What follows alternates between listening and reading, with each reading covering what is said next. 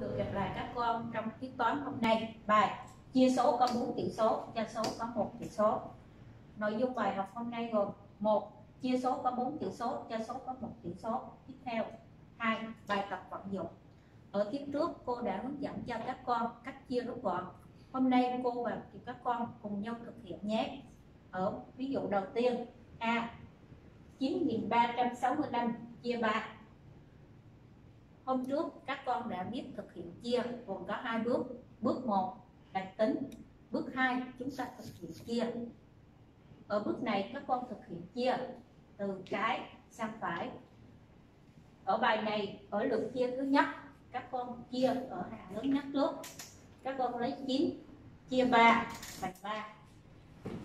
Viết 3 3 nhân 3 bằng 9 9 trừ 9 bằng 0 các con hôm trước đã biết chia rút gọn, bước nào các con thực hiện ở trong đầu?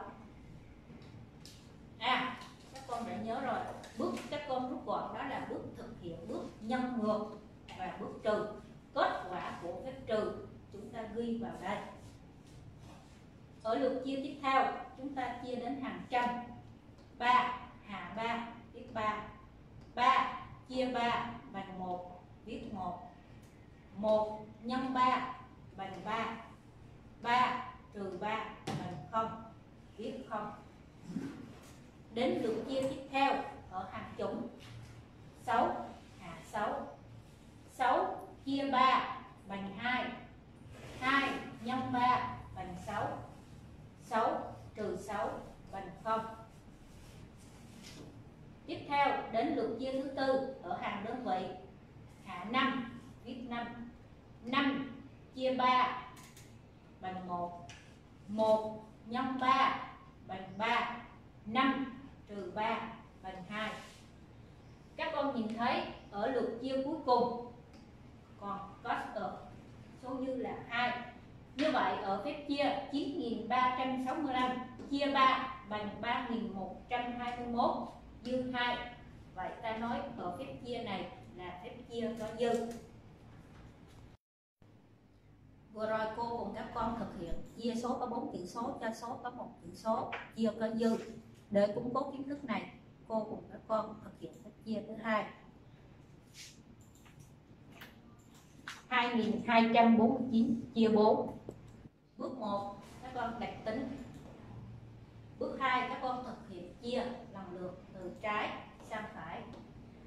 Ở lượt chia thứ nhất, chúng ta lấy 2 chia cho 4 2 nhỏ hơn 4 nên các con lấy số tiếp theo nữa là 22 chia 4 22 chia 4 5 5 nhân 4 bằng 20 22 trừ 20 bằng 2 viết 2 ở lượt chia thứ hai, hạ 4 viết 4 24 chia 4 được 6 6 nhân 4 bằng 24 24 trừ 24 bằng 0 ở lượt chia thứ ba hạ 9 viết 9 9 chia 4 được 2 2 nhân 4 bằng 8 9 trừ 8 bằng 1 ở lượt chia cuối cùng, các con thấy kết quả của phép trừ là 1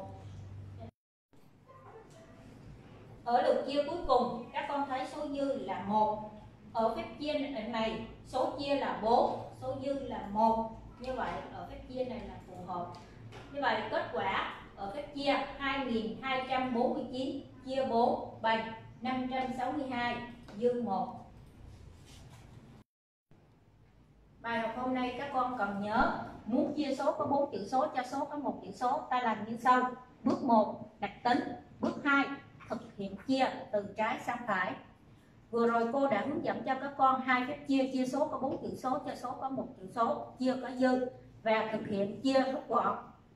Bây giờ các con hãy vận dụng kiến thức đã học để vào làm bài tập nhé. Chào các con.